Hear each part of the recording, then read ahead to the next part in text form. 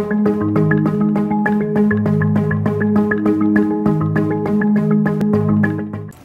morning. And it's a great day here in the city of Atlantic City. Can we say great day? Great day. Yes, it's a great day. Mayor Marty Small Sr., Mayor of the great city of Atlantic City.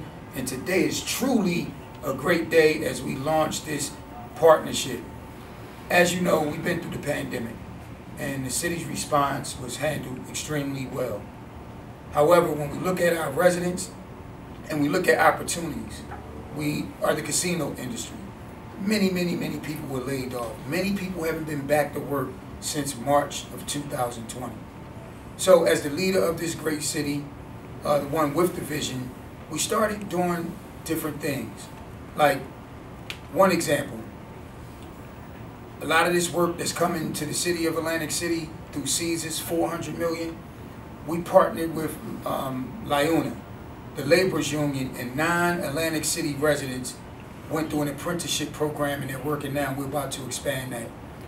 One of the other things that we developed was the city's first small business administration uh, cohort from the mayor's office. 44 Atlantic City residents went through and graduated. We're working on cohort number two. We have been proactive in getting funds for the residents of Atlantic City via CARES Act, via CDBG, or any type of money from different state, state and federal authorities.